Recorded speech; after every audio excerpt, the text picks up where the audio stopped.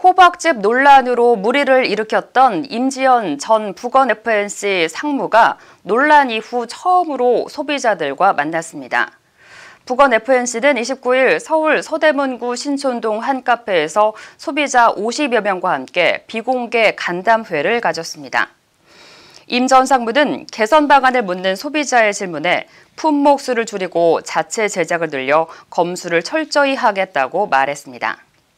한편 북원 FNC는 비공개로 진행한 소비자 간담회 촬영 영상을 편집 없이 유튜브에 공개하겠다고 밝혔습니다.